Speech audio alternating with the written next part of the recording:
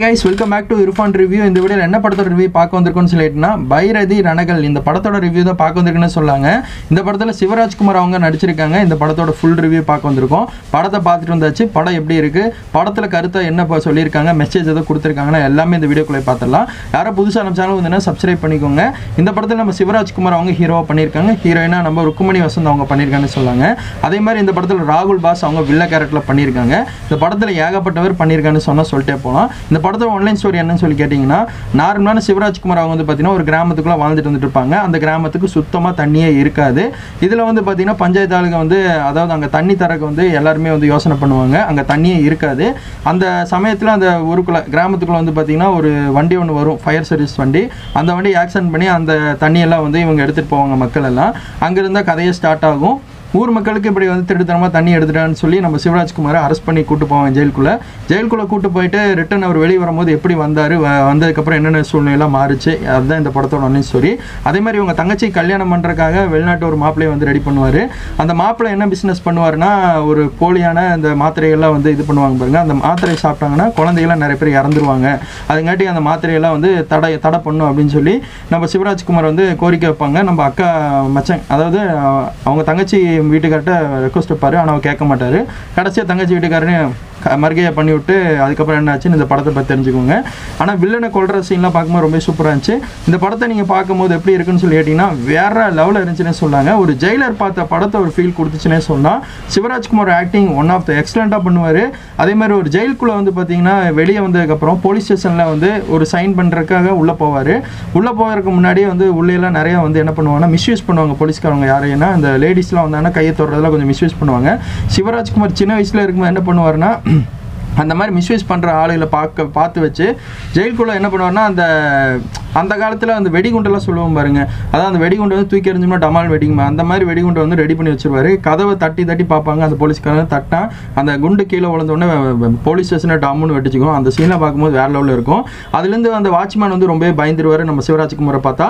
பெருசானதுக்கப்புறம் ஒரு சம்பவம் நடக்கும். அந்த இடத்துல வந்து நம்ம இந்த மாதிரி சிவராஜ்குமார் பண்ண வந்துட்டாரு அப்படின்னு சொல்லி பயப்படுவாங்க.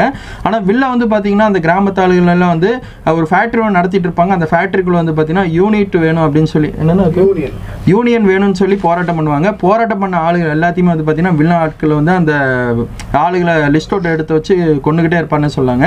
இதுக்கப்புறம் தான் நம்ம சிவராஜ்குமார் ரிவெஞ்ச் எடுப்பார். ரிவெஞ்ச் எடுக்கும் போதெல்லாம் வேற லெவலில் இருக்குன்னு சொல்லாங்க. தலைவனாவது கழுத்தை கையால் வெட்டுவார். ஆனால் இவர் வந்ததுக்கப்புறம் தலை துண்டா போகுது கை துண்டா போகுது. வேற லெவலில் இருந்துச்சுன்னு சொல்லாங்க. படம் வந்து வைலன்ஸ் வைலன்ஸ் வைலன்ஸ் சூப்பராக இருந்துச்சு. யூஎஸ் அப்படி எடுத்து அந்த படத்தை கொடுத்துருக்காங்க. இது ஒரு ஆக்ஷன் ட்ராமா மூவி கண்டிப்பாக தேட்டரில் விசிட் பண்ணி பாருங்கள் தமிழில் அவைபிளாக இருக்கான்னு சொல்லி கேட்டிங்கன்னா தமிழில் அவைபிளாக இருக்குது கண்டிப்பாக விசிட் பண்ணி பாருங்க. கோயம்புத்தூர் திருப்பூர் அந்த மாதிரி சைடில் தான் ஓடுது. நாங்கள் வந்து பெரிய பெரிய இதில் ஊரில் தான் போய் பார்த்துருந்தோம். நாங்கள் கோயம்புத்தூரில் தான் பார்த்துட்டு வந்தோம் நல்லா இருந்துச்சு. படத்துக்கு கூட்டம் வந்துச்சான்னு சொல்லி கேட்டிங்கன்னா க கண்டிப்பாக சொல்லி கூட்டம் வந்துச்சுன்னே சொன்னாங்க. நல்ல ஒரு ரெஸ்பான்ஸ் கிடச்சிது. தேட்டரில் அங்கங்கே கைதட்டல் அடிக்கடி வந்துட்டே இருக்கும். வில்ல சீன்லாம் வரும்போது மாசாக இருக்குன்னு சொன்னாங்க. உண்மையாக சிவராஜ்குமார் வந்து நல்ல ஒரு கம்பேக் கொடுத்துருக்காருன்னு சொல்லலாம். இது ஒரு ஆக்ஷன் மூவி நான் சொன்ன பாருங்கள் ஃபைட்டிங் வயசில் நல்லாவே பிச்சுட்டாருன்னே சொல்லலாம். நல்லாவே சூப்பராக பண்ணியிருந்தாரு.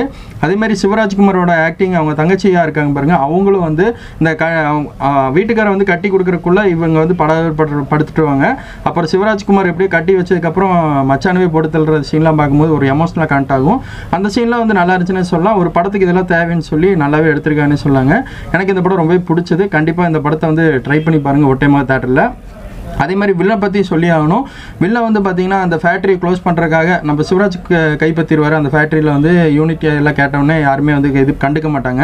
அது கைப்பற்றினதுக்கப்புறம் என்ன நடக்கும்னு சொல்லி கேட்டிங்கன்னா சிவராஜ்குமார் தான் அந்த இடத்துல வந்து மெயின்டைன் பண்ணிட்டு வருவார். மெயின்டைன் பண்ணிட்டு வரும்போது நம்ம வில்ல டீம் என்ன சொல்லுவாருன்னா இந்த மாதிரி அந்த ஃபேக்ட்ரி வந்து க்ளோஸ் பண்ணி விட்டுருங்க அப்படின்னு சொல்லி அரசியல்வாதி கையில் வச்சுக்குவார் நம்ம வில்ல டீம் அதை வச்ச உடனே நம்ம இவர் ஹீரோ என்ன பண்ணுவாருன்னா மொத்த அரசியல்வாதி காசு கொடுத்து வாங்கிடுவாருன்னு சொன்னாங்க வாங்கினதுக்கப்புறம் என்ன விஷயம் நடக்கும்னா அந்த ஃபேக்ட்ரி எப்படி க்ளோஸ் பண்ணாலும் சீல் வச்சு அதை அப்படியே ஓப்பன் பண்ணிடுவாருங்க வேற லெவலில் இருந்துச்சு.